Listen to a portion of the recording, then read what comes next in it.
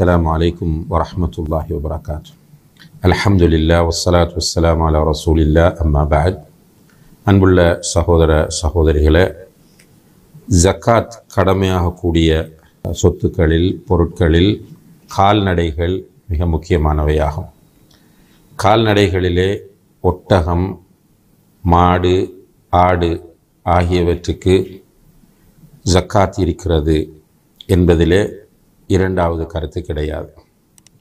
இந்த கால்நடைகளுக்கு ஜக்காத் கொடுக்கிற விஷயத்தில் நம்முடைய சமுதாயத்தில் ஒரு பொடுபோக்கான நிலை இருப்பதை யாரும் மறுக்கவும் முடியாது. கால்நடைகளுக்கு ஜக்காத் கடமையாகும் என்று சொல்லும்போது அது பற்றிய தெளிவும் நமக்கு தேவை. கால்நடைகளுக்கு கால்நடைகள் என்று சொல்லும்போது மீண்டும் நினைவுபடுத்திக் கொள்கிறேன். ஒட்டகம் ஆடு மாடு.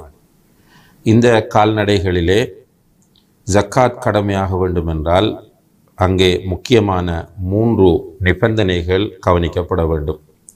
முதலாவது நிபந்தனை நம்மிடம் இருக்கிற அந்த கால்நடைகள் ஜக்காத் கடமையாகக்கூடிய நிசாபை அடைந்து கொள்ள வேண்டும்.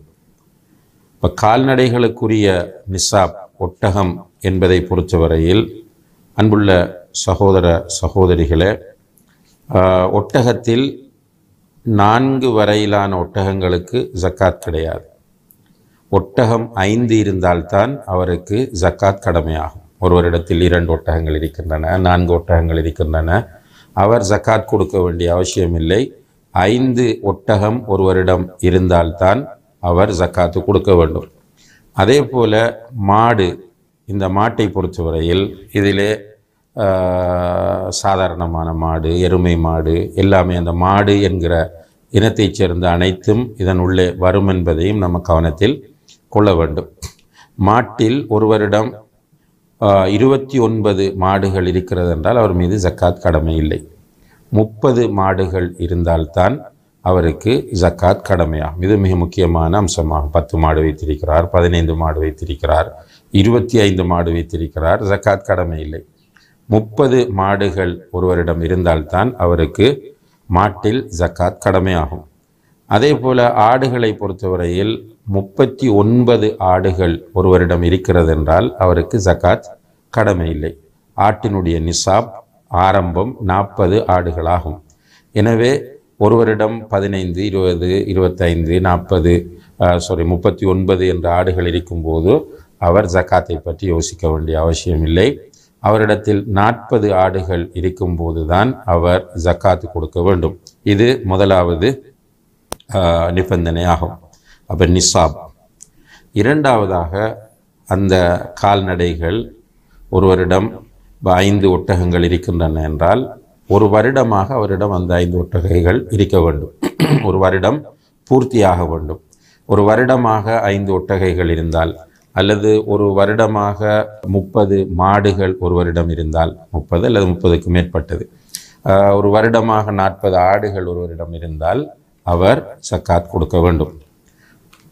மூன்றாவது மிக முக்கியமான நிபந்தனை அந்த ஆடுகள் அல்லது மாடுகள் ஒட்டகங்கள் ஹலாலான முறையில் மேய்ச்சல் மேற்கொண்ட ஆடுகளாக மாடுகளாக இருக்க வேண்டும். அதாவது இந்த ஒட்டகம் ஆடு மாடு போன்றவற்றில் உலமாக்கள் சில முக்கியமான குறிப்புகளை பதிவு செய்கிறார்கள். அதில் ஒன்று என்னென்றால் அந்த ஒட்டகம் ஆடு மாடு என்பவை தானாக மேய்ந்து ஒரு ஹலாலான அனுமதிக்கப்பட்ட முறையில் மேய்ச்சல் மேற்கொண்டு அது பால் கறப்பதற்காக அல்லது இனவிருத்திக்காக பயன்படுத்தப்படக்கூடியதாக இருந்தால் அதிலே ஜக்காத் இருக்கிறது. இரண்டாவதாக உள்ள ஆடு மாடுகள் ஒட்டகங்களை பொறுத்தவரையில் இந்த உணவு கொடுத்து வளர்ப்பது. முதல் வந்து அது போய் தானாக மேய்ந்து தன்னுடைய உணவை தேடிக்கொள்ளக்கூடிய ஆடு மாடு ஒட்டகங்கள். அப்படி அது இருந்தால்தான் அதிலே ஜக்காத் இருக்கிறது. இப்போ உணவு கொடுத்து வளர்க்கப்படுகிற ஆடு மாடு ஒட்டகங்களை பொறுத்தவரையில் அதிலே ஜக்காத் இல்லை என்பதுதான் உலமாக்களுடைய சரியான கருத்தாகும். அது பற்றி கூறும்போது இமா Abu Hanifa Shafi Ahmad ibn Hanbal ரஹிமஹமுல்லா போன்றவர்கள் சொல்லுகிறார்கள் உணவு கொடுக்கப்பட்டு பணத்துக்கு உணவு வாங்கி உணவு கொடுக்கப்படக்கூடிய கால்நடைகளாக அவை இருந்தால் அவற்றுக்கு ஜக்காத் கிடையாது என்கிற கருத்தை அவர்கள் முன்வைத்து அந்த கருத்துக்கு ஆதாரமாக புகாரியிலே ஆயிரத்தி நானூற்றி ஐம்பத்தி நான்காவது இலக்கத்தில் வரக்கூடிய ஒரு செய்தியை முன்வைக்கிறார்கள். அதிலே அனஸ்ரலி அல்லானவர்கள் சொல்கிறார்கள் அபுபக்கர் சித்திக் ரதி அல்லாஹு அன்ஹு அவர்கள் அனஸ்ரலி அல்லானவர்களை பஹ்ரைனுக்கு அனுப்பிய போது அவருக்கு எழுதி அனுப்புகிறார்கள் ஹாதிஹி ஃபரீலத்து சதகா அல்லத்தி ஃபரத ரசூலுல்லாய் சல்லா அலி செல்லம் அலல் முஸ்லிமீன் அல்லத்தி அமர் அல்லாஹு பிஹா ரசூலஹூ ஃபமன் சுஇலஹா மினல் முஸ்லிமீன அலா வஜிஹா ஃபல் யுத்திஹா வமன் சுஇல ஃபௌகஹா ஃபலா யுக்தி என்று ஜக்காத்தினுடைய முக்கியத்துவத்தை பற்றி ஒரு கடிதம் எழுதுகிறார்கள். ஜக்காத் என்பது ரசல்லா அலிஸ்லாம் அவர்கள் முஸ்லீம்கள் மீது கடமையாக்கியது அல்லாஹ் ரசூலுல்லாவுக்கு கடமையாக்கியது. எனவே முஸ்லீம்களிடம் ஜக்காத் கேட்கப்பட்டால் அவர்கள் அதை கொடுத்து விட வேண்டும். அதற்கு மேல் கேட்டால் கொடுக்க தேவையில்லை என்று அப்படி அந்த கடிதத்தில் வஃபி சதகத்தில் கனமி ஃபீசா இமதிஹா அதாவது ஆடு தானாக மேயக்கூடியதாக இருந்தால் அதில் நாற்பது ஆடுகள் இருந்தால் நாற்பது ஆடுகளிலிருந்து நூற்றி இருபது வரைக்குமான ஆடுகள் இருக்குமாக இருந்தால் நாற்பது முதல் நூற்றி இருபது வரை உள்ள ஆடு இருந்தால் அதற்கு ஒரு ஆடு ஜக்காத் கொடுக்க வேண்டும் என்று அந்த கடிதத்தில் அவர்கள் எழுதுகிறார்கள்.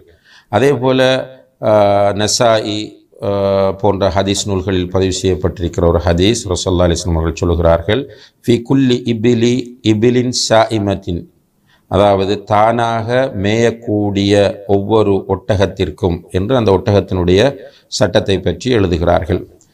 இமாம் நவவி ரஹ்முல்லா அவர்கள் இந்த ஹதீஸ்களை பற்றி சொல்லும்போது வஹாதல் மஃஹூம் ஃபி தகீது விஸ்ஸாயிமா ஹுஜ்ஜத்துன் இந்தனா வஸ்ஸாயிமா ஹியல்லதி தர்ஆ வலைசத் மஅலூஃபா வஸ்ஸௌமு அர்ராயி அதாவது சாயிமா என்று சொன்னால் இந்த ஹதீஸ்களில் வரக்கூடிய அந்த கால்நடைகள் சாயிமாவாக இருக்க வேண்டும் என்று சொல்லப்படுகிறது.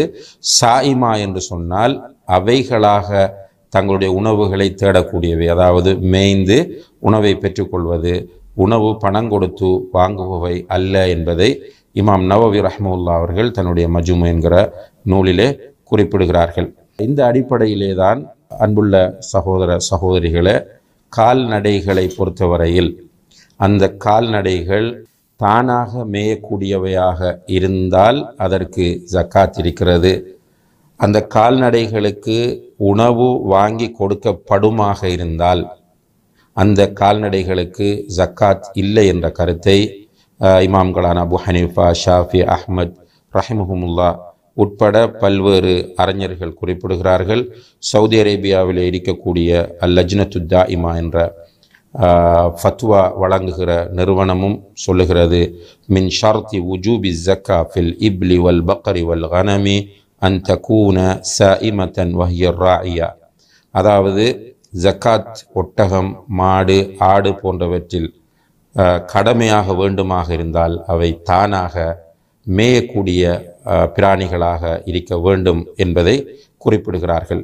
எனவே இந்த விஷயத்தில் நாம் கவனம் செலுத்துவது முக்கியமானதாகும். போய் காட்டில் போய் மேய்ச்சல் நிலங்களில் போய் மேய்ந்து விட்டு வரக்கூடிய ஒட்டகம் மாடு ஆடு இருந்து அது நிசாபை அடையுமாக இருந்தால் நாம் அதற்கு ஜக்காத் கொடுக்க வேண்டும்.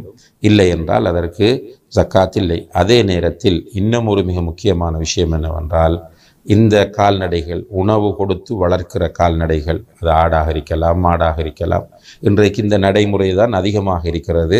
எனவே சில நேரங்களில் அவர்கள் யோசிக்கலாம் இப்போ நமக்கு ஜக்காத் கடமை இல்லை என்று. ஆனால் அந்த கால்நடைகள் வியாபார பொருட்களாக ஆக்கப்படுமாக இருந்தால் அந்த ஆடுகளும் மாடுகளும் ஒட்டகங்களும் வியாபார பொருட்களாக பயன்படுத்தப்படுமாக இருந்தால் அதற்கு ஜக்காத் இருக்கிறது. ஏனென்றால் பொதுவாக வியாபாரத்திற்கு உட்படுத்தப்படக்கூடியவை அனைத்திற்கும் ஜக்காத் இருக்கிறது. அதிலே நாம் மிக தெளிவாக இருந்து கொள்ள வேண்டும். அதில் வந்து நிசாபெல்லாம் அவசியம் இல்லை. இந்த ஆடு மாடு ஒட்டகங்கள் வியாபாரத்திற்கு என்று ஒதுக்கப்பட்டு விட்டால் அவை நிசாபை அடைய வேண்டும். ஒட்- ஐந்து ஒட்டகங்கள் தான் தேவை என்பதில்லை.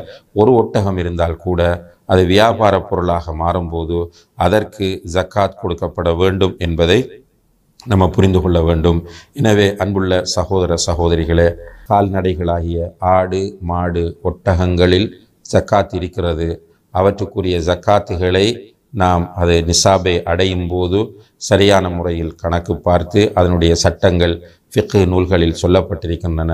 உலமாக்களிடத்தில் கேட்டு எத்தனை ஒட்டகங்களுக்கு எத்தனை ஆடுகள் எத்தனை மாடுகளுக்கு எத்தனை கொடுக்க வேண்டும் எத்தனை ஆடுகளுக்கு எத்தனை ஆடுகள் கொடுக்க வேண்டும் என்ற விவரங்களை உலமாக்களிடம் கேட்டு தெரிந்து கொண்டு இவ்வாறு கால்நடைகளை வைத்திருக்கக்கூடியவர்கள் அவர்களுடைய ஜக்காத்துகளை நிறைவேற்றி அல்லாவுக்கு கட்டுப்படுவதோடு மறுமையில் வெற்றியடைய முயற்சிய வேண்டும்.